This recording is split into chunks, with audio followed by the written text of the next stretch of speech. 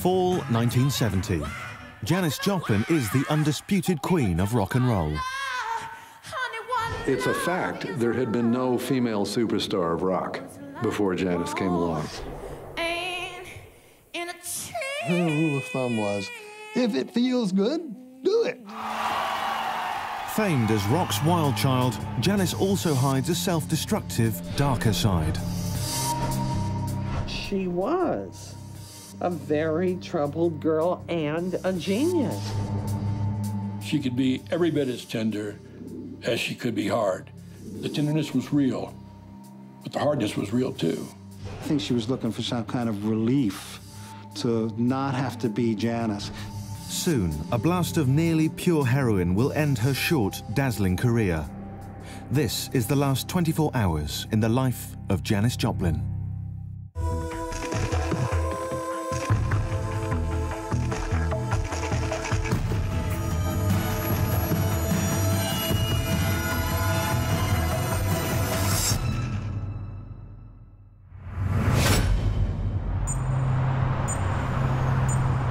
October 3rd, 1970, Hollywood, California.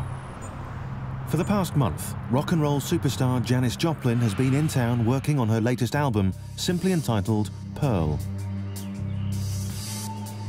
She's staying at the Landmark Hotel, and it's here, alone, that in less than 24 hours, she will die. It's 1.30 in the afternoon, and Janis is still in her room, her band is busy laying down tracks at the nearby recording studio, and she'll not be needed there until much later.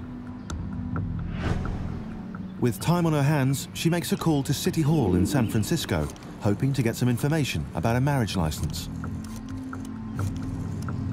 Janis has recently become engaged to Seth Morgan, a man she's only known for a few months. Some of her friends are skeptical about her new relationship, but not her road manager, John Cooke. The way Janis talked about her relationship with Seth Morgan was, was very positive. She especially, in, she was describing it in terms of being different from her previous relationships. Janis believes that this time she's found true love. She described their relationship as being different. She said they didn't have to go out boogieing every night. They could read the morning paper together and talk about current affairs. Janis's call to City Hall, however, hits a snag. It's Saturday, and municipal offices are closed. She'll have to try again on Monday. With a whole afternoon ahead of her and nothing much to do, Janis starts to get edgy. She doesn't like to be alone and needs something to help fill the void. Well, recording goes on for weeks, and it's not ever quite as much fun as being on stage because there's no audience, there are those boring days, and Janis did not suffer boredom gladly. Janis goes back to the phone. This time she's calling her Candyman. He agrees to come by the hotel with a special package, a package that will end her life. A life that just three years earlier had seemed so full of promise. Back on June 16, 1967, the Summer of Love was in full swing. 50,000 people were assembled for the Monterey International Pop Festival. A little-known San Francisco band of hippies known as Big Brother and the Holding Company was about to hit the stage. Fronting the band was 24-year-old Janis Joplin.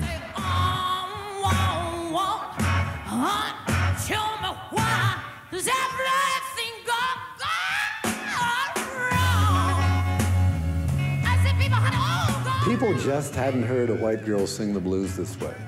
If you hadn't heard Janis before and she came out and started singing, you were just blown away. Everybody in the band, not just Janis, but Peter had it, Sam had it, James had it, I had it. When we went out, we just, you know, we, we really just went for it.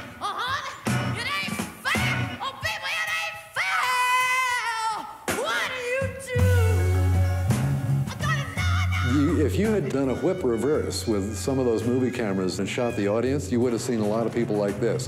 And I want someone that could tell me, come on, tell me why, me why. Oh, tell me what love, honey, love is like. Well, it's like a ball in a.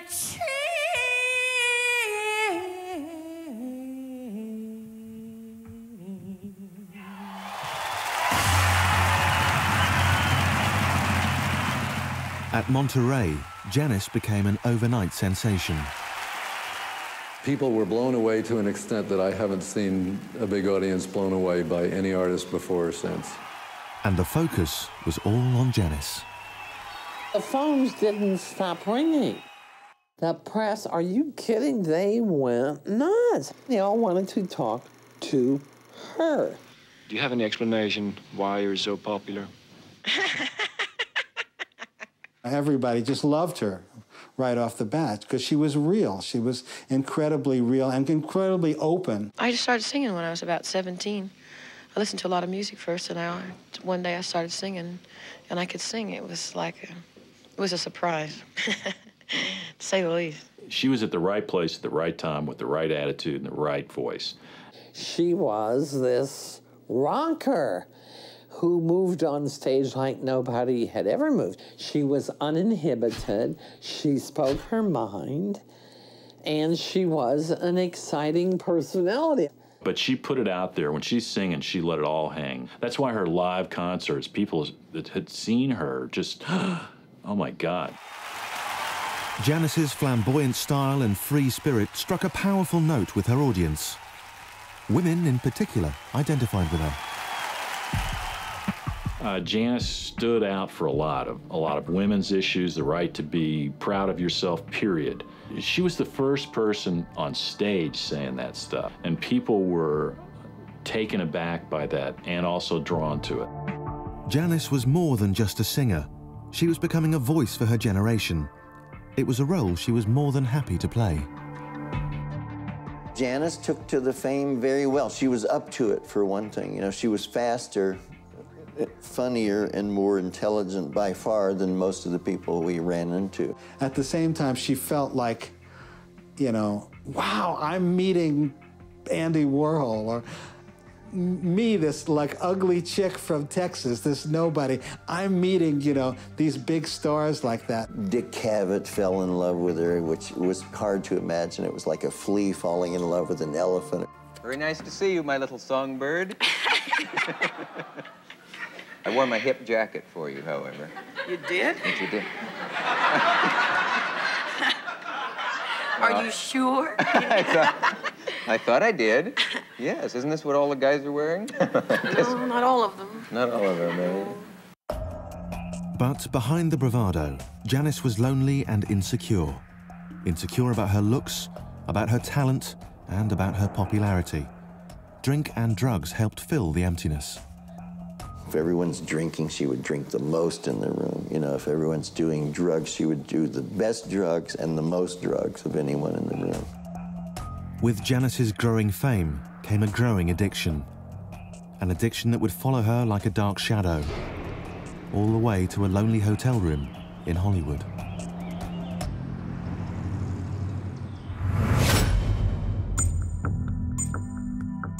October 3rd, 1970, 3.30 p.m. Rock and roll star Janis Joplin has been holed up at the Landmark Hotel in Hollywood for more than a month while working on her latest record, Pearl. Hours away from being needed in the recording studio, she's bored. To kill time, Janis has arranged for her drug dealer to bring her a fresh supply of heroin. She has no idea that she has made an appointment with death. In less than 10 hours, Janis Joplin, the wild woman of blues, will be dead. Throughout her career, Janis has struggled with an addiction to both alcohol and drugs. To the band, she always presented this very up, very happy, very ready to rock, very ready to play, ready to do the job, make the music. That was the side of her we saw. We didn't really see the other side. And until arriving in LA, neither had Janis. Since April, she's steered clear of heroin. She had been clean for six months and proud of it. And she had done it herself because you have to do it for yourself. she decided to get on, get her life back on the rails again, and she made a serious effort to, to stop. But in her hotel room, Janis Joplin takes two steps back. In my experience of the addictive personality, there's always a level of self-confidence that is a step beyond where it should be. So because she had cleaned herself up, well, then she could safely dabble. It's not the first time that Janis has dealt with this particular dealer. She uses him because he's reliable, always testing his product. But today, he gets sloppy. Neither the dealer nor Janis is aware that the heroin is uncut and is possibly as much as 50% pure. For even the most hardcore junkie, that level of purity is risky. But for Janis, who has just started using again, it will turn out to be lethal. Instead of getting high right away, Janis decides to call her fiancé, Seth. She has big plans for her and Seth. Lately, they've been talking about her quitting the business and having some kids. She wanted to be more than a rock singer. She wanted to have a family. She wanted to have children. She wanted to get married. You know, she wanted all the things that everybody wants. Family is important to Janis. It always has been. Janis Lynn Joplin was born on January 19, 1943, in the respectable, conservative oil refining town of Port Arthur, Texas. An unlikely birthplace for a woman who would one day be known as the wild woman of blues. When we were growing up, and this is in the 40s and 50s, it was quite idyllic, really, you know, manicured lawns and Little League Baseball and sort of a normal middle class looking type town. By all accounts, Janis's early childhood was normal and happy and uneventful. But in her teens, all that changed. Her mother wanted Janis to be what every mother there wanted their daughter to be, and that was popular and have a date for the prom and dress nice and wear her hair right. And it became pretty clear pretty early in high school that uh, Janis wasn't going to follow that road. Plagued with severe acne and an underdeveloped body, the teenager began being shunned by her peers. For Janis, used to being popular, it was devastating. I think Janis probably had a lot of personal problems, uh, self and doubts, self doubts, and as far as her own looks were concerned. Janis dealt with her rejection by rebelling. She dressed in black, swore like a sailor, and thumbed her nose at what she came to see as Port Arthur's hypocritical small town values. And the more she rebelled, the more her peers bullied and isolated her. But Janis did find refuge in the company of a small group of other young outsiders. One of those was Jim Langdon. We all rebelled against the status quo, against the establishment, against the rules and regulations and attitudes that prevailed at that time. Part of their rebellion involved illicit trips across the state line into Louisiana, where they searched for adventure and found the forbidden fruit black music. And we spent from midnight until dawn just going, prowling in and out of the clubs, the quarters, hearing, hearing blues players, jazz players, you know, just digging the music and, uh, and drinking. She really got turned on to the, especially the blues, blues people, you know. It was just a whole scene that was just magical, you know, really exciting. Janis loved it. You know, we all enjoyed it, but she really loved it.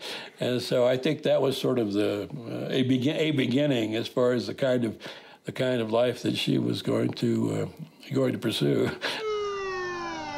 After one such trip to New Orleans, Janis and her friends crashed their car and were apprehended by the police. It was things like that that solidified Janis's reputation as a bad girl, as a really bad girl. She was vilified greatly for this, you know. She was different, and being different was enough to uh, get you a lot of grief. She had uh, chosen to fight back by being even more outrageous and more aggressive, and that just made matters worse.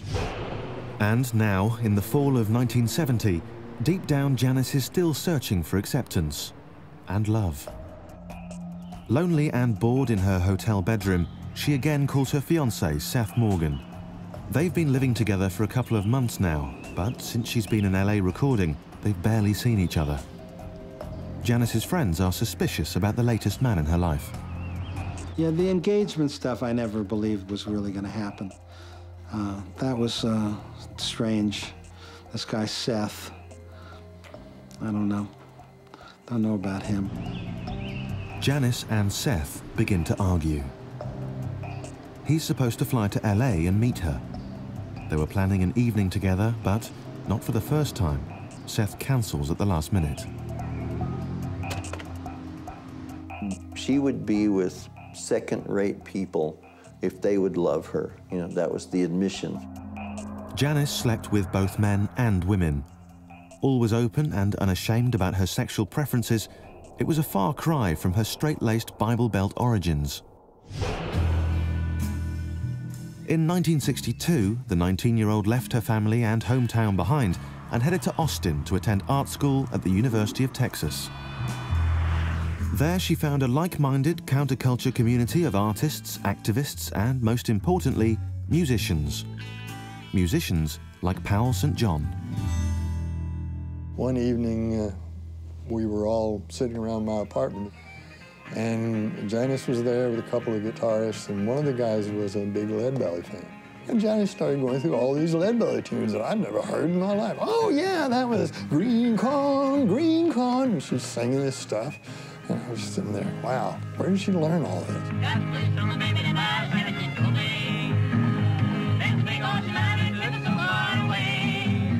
Janis joined the Waller Creek Boys. Janis loved the attention, but not all of it.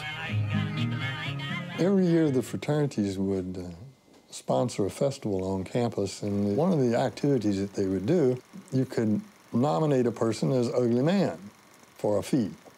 So someone nominated Janis, and she won in the voting, and she was absolutely crushed. I think it's one of the only times I ever saw Janis cry. One year later, Janis left Texas and the college jocks who humiliated her and hitchhiked to the promised land, San Francisco.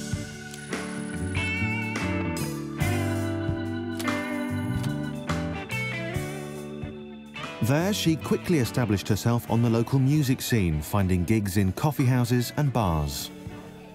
But something else was also waiting there, a plentiful supply of drugs. In 1965, only two years after arriving on the San Francisco scene, Janis returned to Port Arthur, a speed freak. She came back probably, you know, probably weighing, you know, 87 pounds or 90 pounds or something like that, and needle tracks up and down her arms, and uh, was a total basket case. And she probably realized when, you know, that, that she, she had damn near killed herself. And she was really trying to do everything in her power to do a complete 180 and go as straight as straight could be. But as everyone knows now, her luck didn't hold out. You know. Her first destructive brush with injecting drugs would turn out to be just a taste of what was to come. Now, five years later, in a hotel in Hollywood, California, Janis Joplin's luck is about to run out.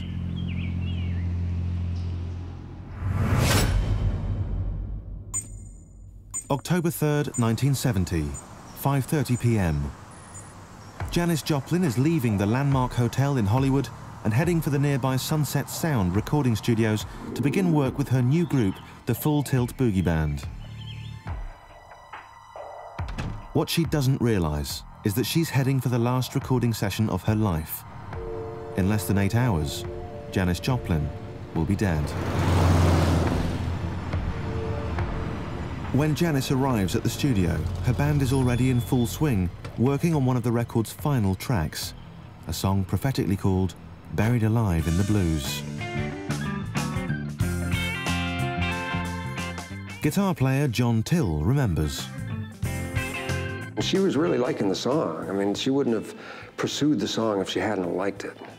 So uh, It, it was coming together more and more and more, and we almost had it by the end of the night. She really felt good about what was going on, and she told us many times, she says, I just love that. And I said, thanks, Janis, because we did too. So far, recording is going well. Janis, who in the past had mostly difficult experiences in the studio, is hoping her star producer, Paul Rothchild, can bring some of his magic to her new album. Paul was an incredible producer because he could bring it all together. And he felt that Janis had not been captured.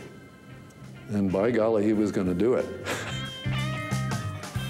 Paul Rothchild tells Janis he feels the new album is going to be a huge hit, bigger than anything she's ever done before. Professionally, Janis feels she's back in the saddle. Although her rise to fame has been spectacular, it hasn't been an easy ride. In 1966, back again in San Francisco, Janis warmly embraced the hippie culture of Haight-Ashbury. There she met the band that would first take her to the top, Big Brother and the Holding Company. Peter and I were singing, and neither one of us is really a lead vocalist.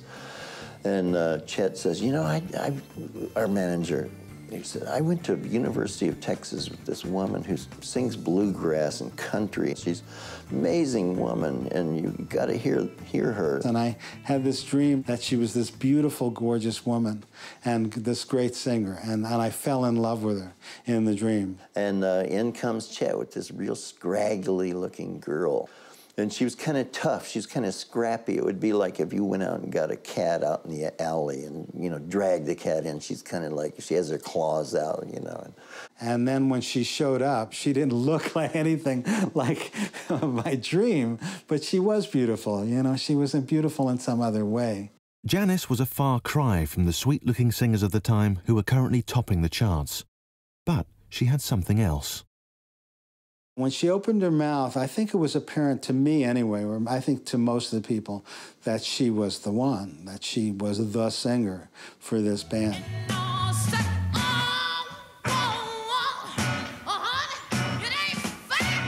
Janis and Big Brother seemed an ideal match. The band's improvisational jamming perfectly blended with Janis's powerful bluesy vocals. Soon, Big Brother and the holding company won the hearts and minds of the San Francisco crowds.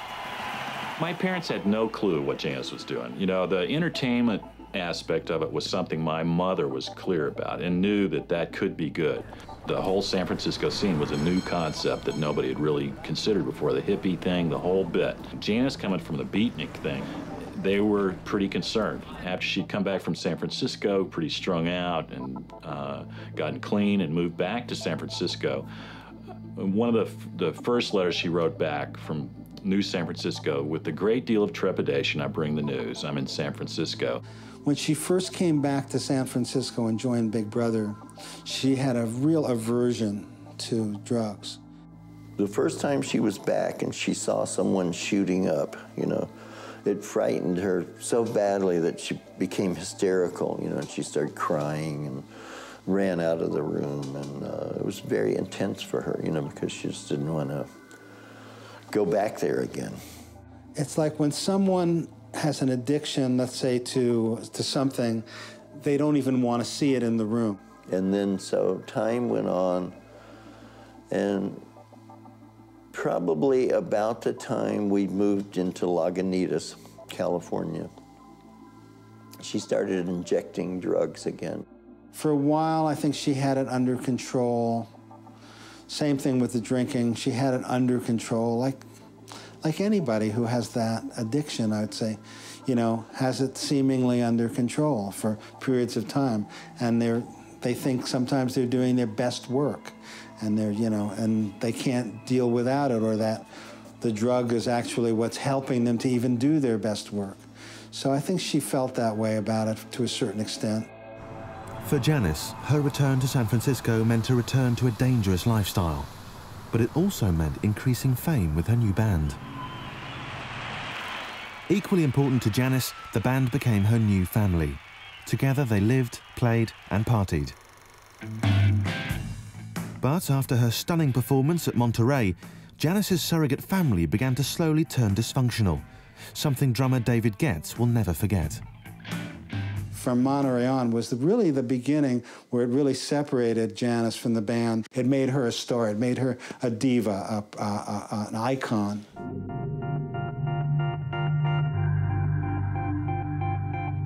It started out Big Brother and the Holding Company on the poster, and then it said Big Brother and the Holding Company featuring Janis Joplin, real small letters down at the bottom, you know.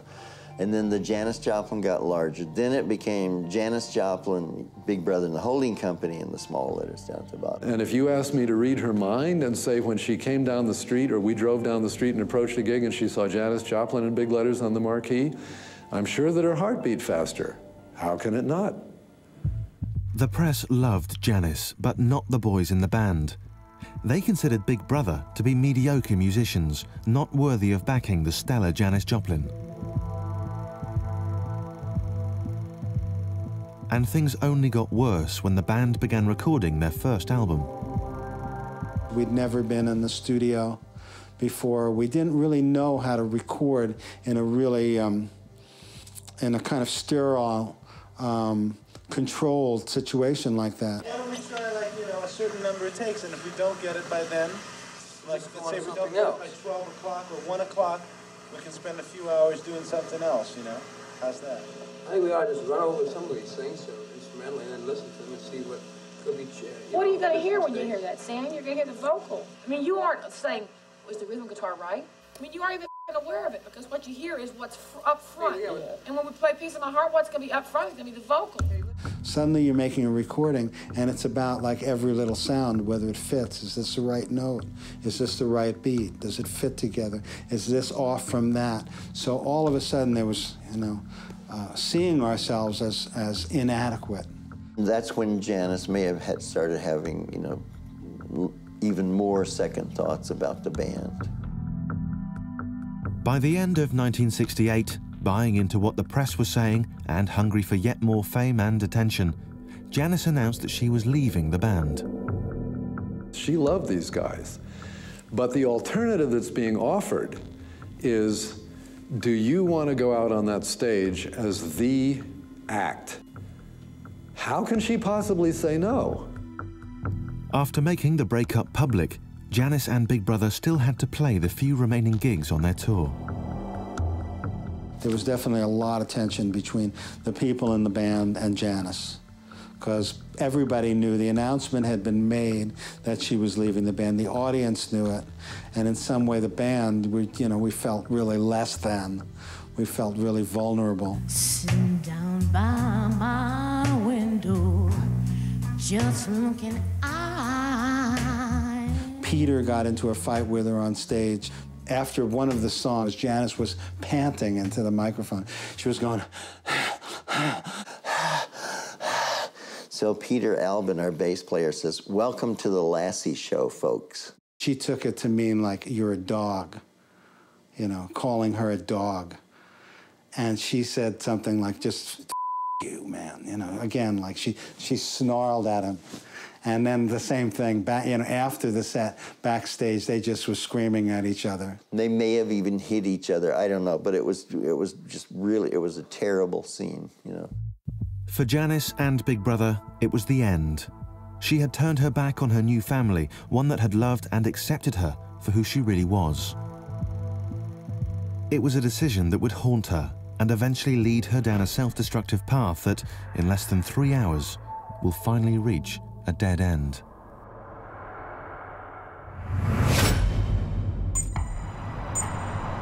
October 3rd, 1970. Sunset Sound Recording Studios in Hollywood, California. Janis Joplin is busy working on a track for her latest album, Pearl, with her new band.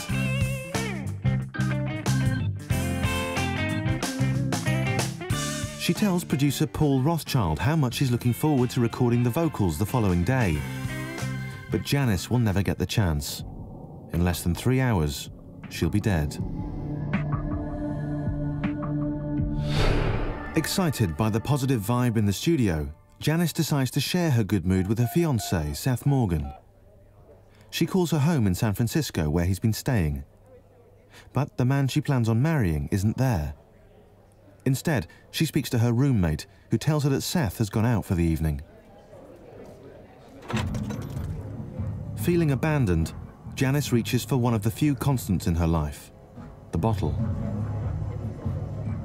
There might have been a Mickey there of, uh, of Southern Comfort. I, I, I, don't know. I didn't, I didn't spend too much time in the studio control room myself, but uh, I, I might have heard some glasses tinkling. Medicating in times of crisis is something Janis has been doing most of her life. But it wasn't until 1969, soon after leaving Big Brother and the holding company, that her bad habits turned into life-threatening addictions.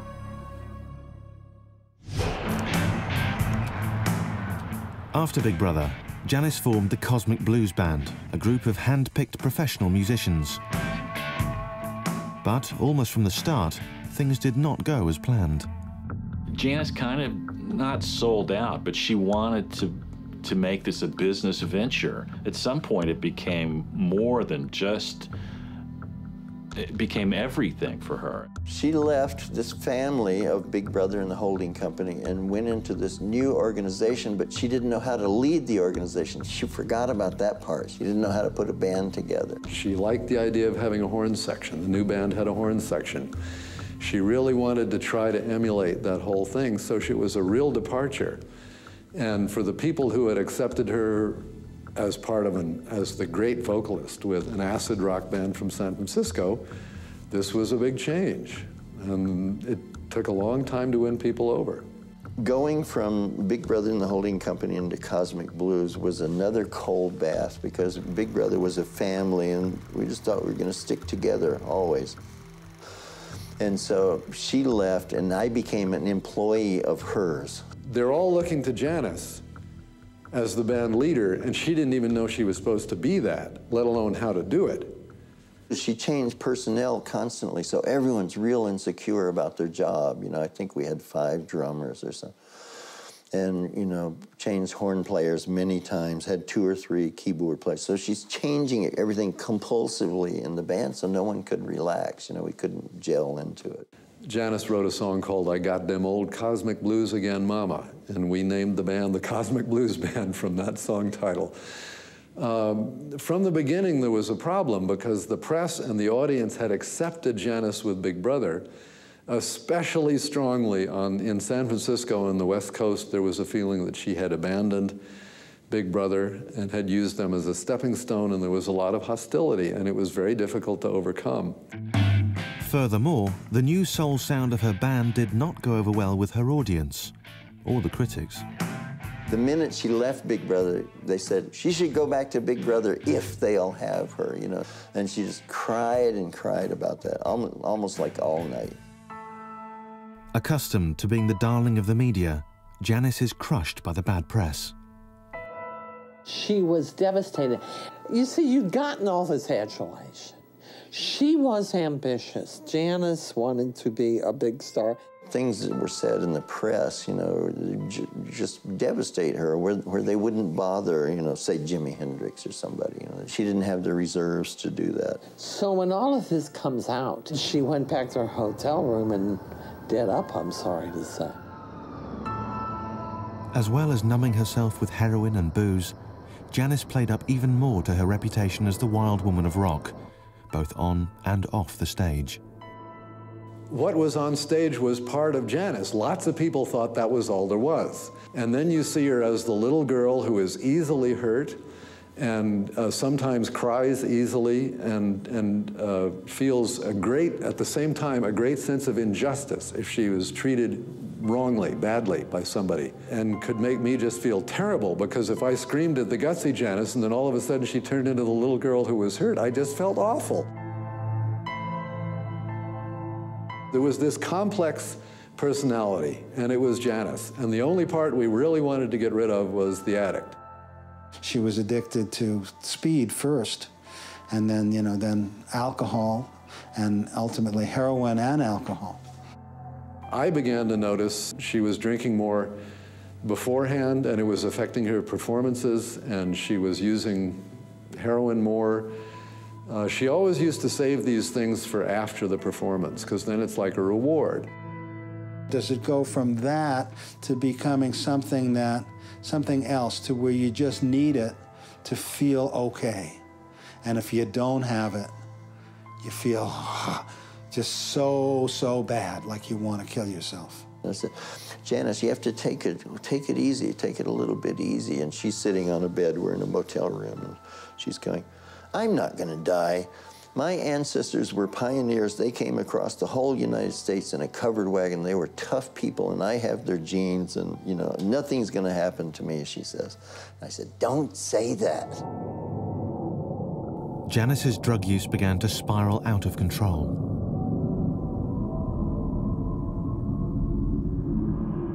In March of 1969, her friend, Linda Gravenites, found her passed out, her face gone purple. Janis had OD'd, and it would not be the last time. You cannot make someone with an addictive personality do anything. You can't do it for them. You can tell them how you feel, and I did tell her how I felt, you know. I said, I don't like to see you like this. At Woodstock, in the summer of 1969, Janis Joplin could no longer hide the effects of non-stop touring and binging on drugs and alcohol. She was feeling down. She physically was not in good condition. Um, and she was very uncertain about her future. At the end of 1969, Janis disbanded the Cosmic Blues Band. It had been a disaster. She had given up her musical family, Big Brother, and the holding company for a bigger shot at fame. And all she had to show for it was a nasty addiction to booze and smack. An addiction that would eventually take its toll here in Hollywood, California. With recording of the new track done for the day, Janis and some of her bandmates stop at the local bar, Barney's Beanery, for a nightcap. Here, Janis Joplin will raise a glass for one last time. In less than an hour, a lifetime of excess will finally catch up with the queen of rock and roll. October 4th, 1970, 12.30 a.m., Barney's Beanery, Hollywood, California. Janis Joplin is enjoying what will be the last drink of her tumultuous life. In less than one hour, she'll be dead. Janis and her bandmates from the Full Tilt Boogie Band are unwinding at the local bar after a day of working on their new album, Pearl. Ken told me that uh, she was really happy with the way things were coming along. Says, don't you guys ever leave me. I said, don't worry, we won't. In Janis's latest band, she's found a great group of musicians, a new family, and most importantly, a way to get back into the spotlight. In 1970, after the breakup of the Cosmic Blues Band, Janis decided to get clean and get herself a new band. They called themselves the Full Tilt Boogie Band. What I saw in Janis the minute we went out on the road with Full Tilt Boogie was a changed woman, and uh, in the way that I really didn't expect was that she had figured out how to be the band leader. And from before we even hit the road, they all came together as personalities. They were a band. There wasn't Janis and the Full Tilt Boogie Band. She was a member of the Full Tilt Boogie Band, and she liked it that way. Janis's performances that summer were, they made you think of Monterey. They made me think of, of the best evenings with Big Brother because they were Janis at her best, but they're pretty much that way every night because she felt so positive about the band. The most fun we had uh, in the summer of 1970 was going up to Canada and uh, being part of Festival Express. Festival Express was a tour across Canada by train involving the cream of Canadian and American rock and roll. Are we in Calgary already? Everybody said. It was like Woodstock on wheels. We had a great deal of fun pretty much from the start. But the train was special because we were with all these other musicians, and of course she knew the dead. It just went from one thing to another.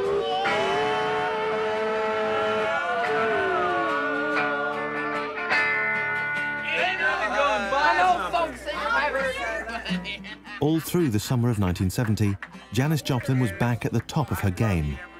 Once again, she was the toast of the town.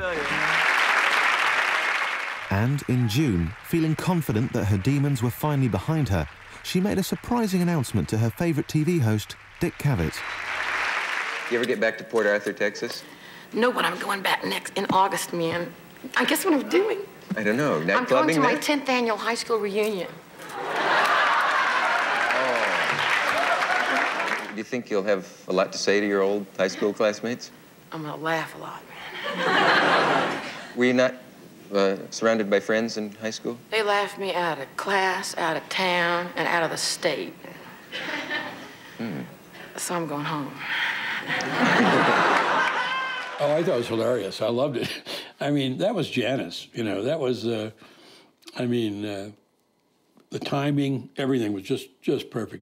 She wanted to go home with all her finery and her reputation and her well-earned fame and strut for Port Arthur. Well, she wanted to rub their faces in it, I think. She was like, I'm going to go back and show those guys and really make them upset. Janis longed to be accepted by her hometown. Instead, she found herself again taking on the role of unwelcome outsider. Even her family gave her a chilly reception. Her brother Michael recalls.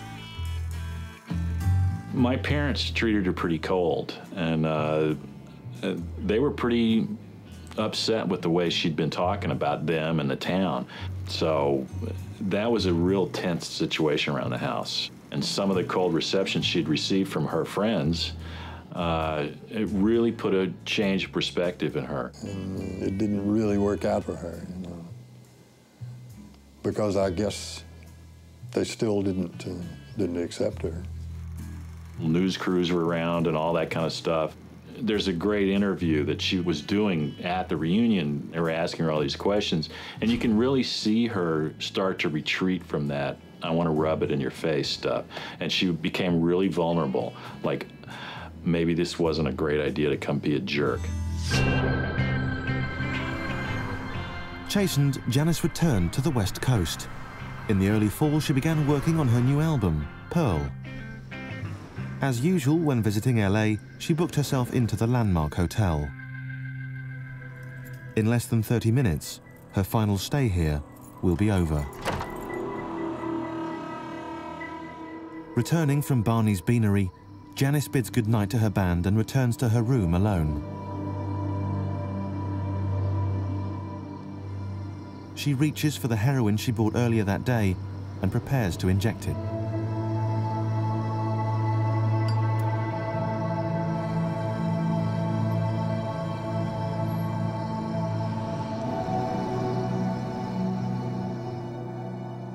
After fixing, in what will be her final act, Janis leaves her room and walks to the front desk of the lobby, looking for change for the cigarette machine. As she makes small talk with the night manager, the man has no idea that he will be the last person to see Janis Joplin alive. Janis buys a pack of Marlboro cigarettes, returns to room 105, and starts to undress. Suddenly, she pitches forward as a blast of nearly pure heroin shoots to her brain and knocks her to the ground.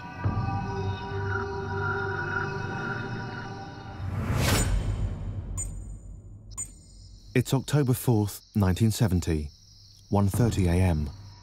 Janis Joplin has just injected a rogue batch of heroin, which has stopped her heart. For the next 18 hours, she lies undiscovered, wedged between her bed and a side table. When she doesn't show up at the recording studio the following day, her producer, Paul Rothchild, phones her manager, John Cooke. Paul called me at the uh, motel and said Janis was supposed to be here an hour ago, and she's not here, and she's always on time. So I went to the desk and I got the key.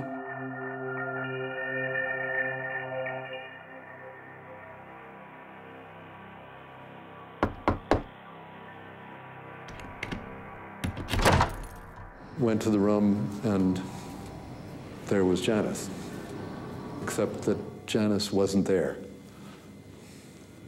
I put a finger on flesh, and the spirit was long gone, and there was no question.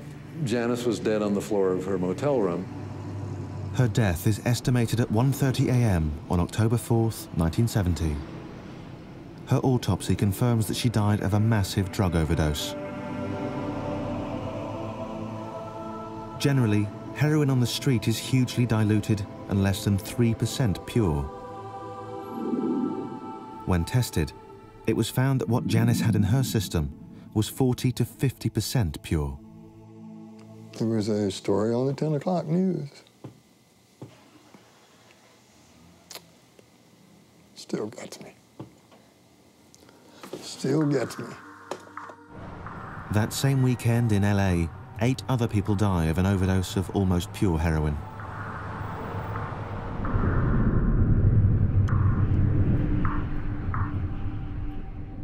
Janis Joplin's album Pearl is released four months later and becomes her best-selling and most critically acclaimed record.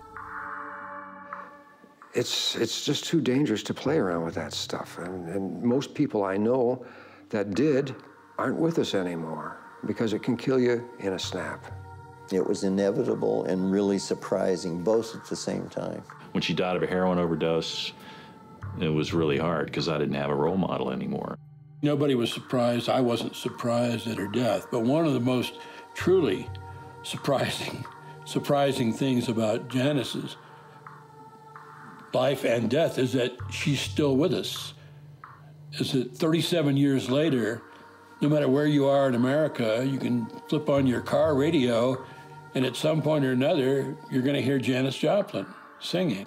Janis was like a race car driver. You know, they win races, they get great adulation from the fans, but there's always the chance that they'll wipe out. I had a dream where Janis was on stage, and it was the end of the set, the end of the encore. And that was maybe a month or so after she died, and I felt like it was Janis coming to say goodbye. And Janis came down the ramp, and, and there was this little girl needing uh, approval and, and comfort. And she said, Was it okay? Was I okay? And I said, You were great.